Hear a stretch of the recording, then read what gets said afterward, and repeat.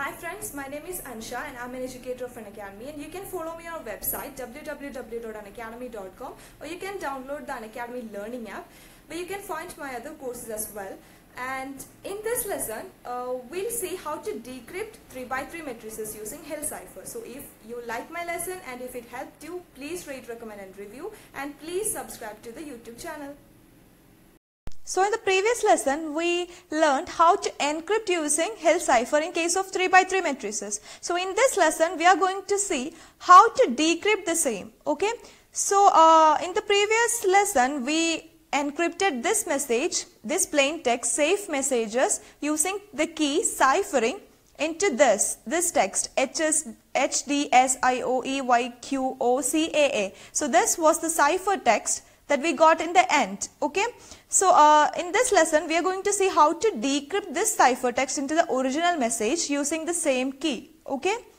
So to encrypt, this was our formula C equal to KP mod 26. But uh, to decrypt, we are using this formula. Again, the same for uh, all square matrices. For all, all cases in Hill cipher, we are using the same formula.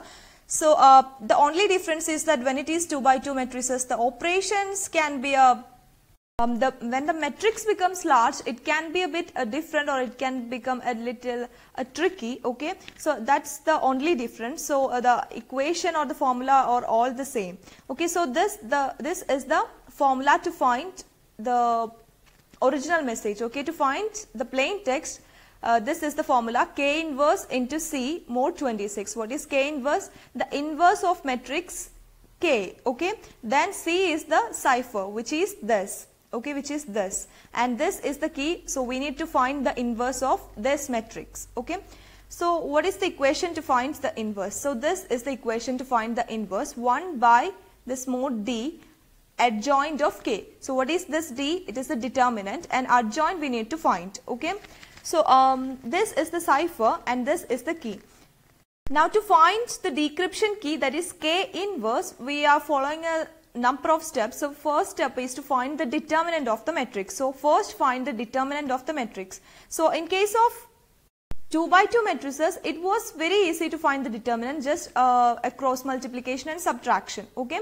So here it's again it's easy. So uh, see this example. If the matrix is like this A, B, C, D, E, F, G, H, I. This is the matrix. So uh, in that case to find the determinant, this is the equation A into EI minus HF. So if this was it's like uh, if it was a separate 2 by 2 matrix okay? So it's nothing just you um, it's just you take the first element of first row and so you cut the first column and first row and take A so A here. Then after cutting these two uh, this uh, row row and column then EI minus HF okay? So minus B into then you cut this row and this column. Di into gf okay di minus gf sorry. Then you take c and you cut this row and this column. Then dh minus ge okay so that is how you find the determinant of matrix 3 by 3 matrix. And it is important that here we will have a minus here minus then plus. It's like alternative plus and minus. So first we have plus then we have minus then we have plus. Okay like that. So uh, you cut the first row and first column first element ei minus hf then you take the second element. So cut the first row and the second column. Then di minus gf then you take c. So cut this row this column. So dh minus ge so it's simple now. Okay. So uh, that is how you find the determinant of 3 by 3 matrix. Now when you find, so this is the key here, key matrix here. So uh, when you apply this equation, you will get like, um, first you take 2, 2 into 4 into 6 minus 13 into 7 minus 8 into 7 into 6 minus 8 into 17 plus 15 into cut this, cut this, then 7 into 13 minus 8 into 4. So when you do the calculation, you will get 1, 2, 4, 3 okay. Now, the second step is to find the multiplicative inverse of the determinant. So, what is the determinant? 1, 2, 4, 3. It's a large number. So, uh, when you find when you find the multiplicative inverse of this number which we uh, discussed in detail in last lesson, in the decryption part of 2 by 2 matrices, we discussed that in detail. So when you use trial and error method and find this uh, multiplicative inverse, you will get 5 here. So um, 1, 2, 4, 3 into 5 mod 26 will be equal to 1. So that is the multiplicative inverse here. So uh, we found the determinant and then we found the multiplicative inverse of determinant. Okay. So next step is to find the adjoint of the matrix. Why? Because the equation to find the inverse of a matrix was this.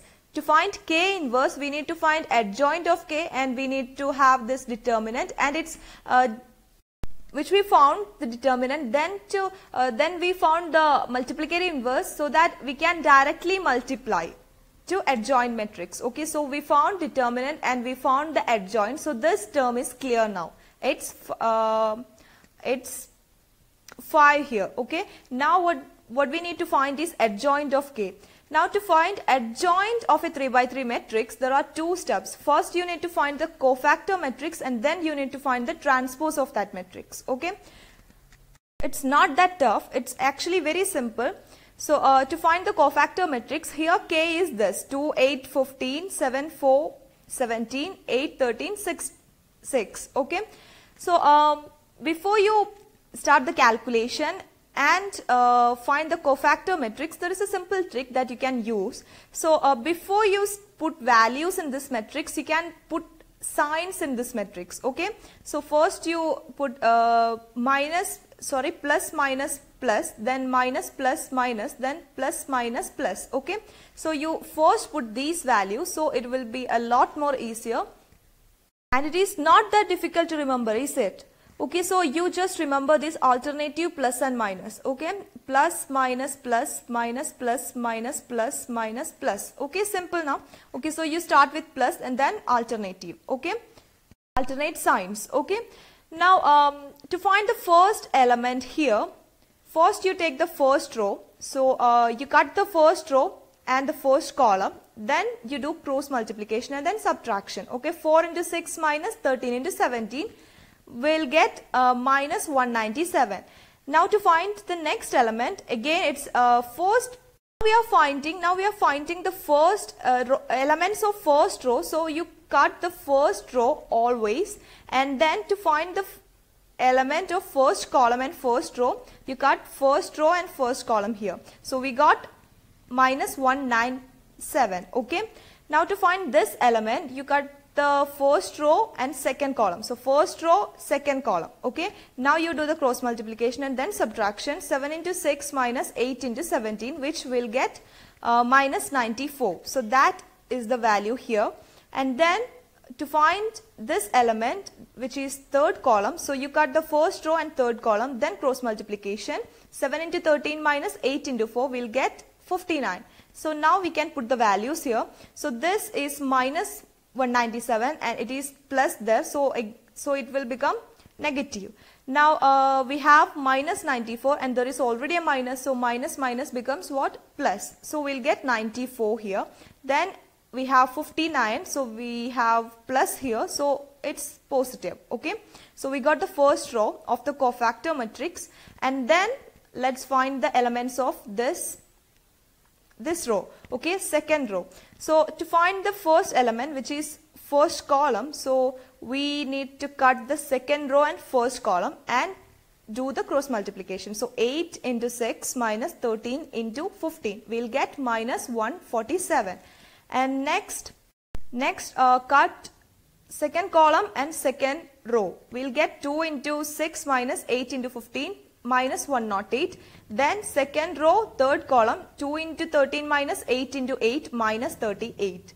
Now we have minus 147. Here there is already a minus, so it will become plus. And then we have minus 108. It is plus there. So plus minus becomes what? Minus. So minus 108. Then we have minus 38 and there is already a minus. So minus minus becomes what? Plus. So we'll get 38 here. So we found the first row and second row of the cofactor matrix and now to find the third row you cut the third row and first column. 8 into 17 minus 4 into 15 will get what? 76. Then you cut the third row and second column. 2 into 17 minus 7 into 15 will get minus 71. And then third column, third row. 2 into 4 minus 7 into 8 minus 48. Okay. Now when you put the values, so we have 76 here and there is already a plus. So it becomes what? 76 itself. And then we have minus 71 and there is already a minus so it will become positive. Because minus minus becomes what? Plus. Okay so 71 then we have minus 48 and there is a plus there so plus minus becomes what? Minus itself. Now this is the cofactor matrix. Okay so this is the cofactor matrix and now to find the adjoint uh, we found cofactor matrix and then we need to find the transpose of that matrix. So this is the cofactor matrix. Now how to find the transpose of matrix? Nothing but just interchange the rows and columns. So this is first row minus 197, 94, 59. So you write it as the first column. Okay, you change this into column. Now the second row is also changed to column and third row is also changed to column. Okay, so this is the transpose of cofactor matrix. Now this is our adjoint matrix. Okay. So we found the adjoint and we found the determinant and then its multiplicative inverse. So now we can find the inverse of the matrix okay so here adjoint of k is this now uh, we have some negative values here so to uh, remove the negative sign we can add 26 n times to the negative number so that we are anyhow we are going to do modulo 26 so it, it doesn't really make any difference. So you can try it. So, um, so you add 26 to this negative number until it becomes a positive number. Okay. So when you add uh, 7 into 26, then only this number becomes a positive number. So um, I'll add 7 into 26 to this negative number. So I'll get 11 and then the positive numbers we don't need to change. Okay.